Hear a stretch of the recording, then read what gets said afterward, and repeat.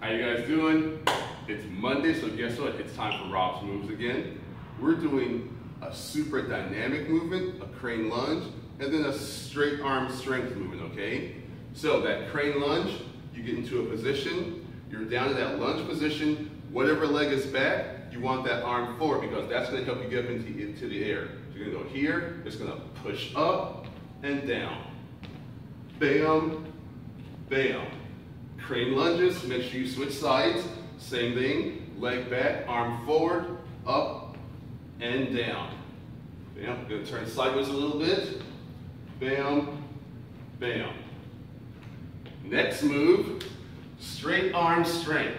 So all I want you to do is to go down like this, place your hands by your knees, flatten those toes out, bend forward, and just pick yourself up, Keep your toes on the ground. Pick yourself up, toes on the ground, pick yourself up, toes on the ground. When you get a little stronger, guess what? You can go forward, toes up off the ground. Toes up off.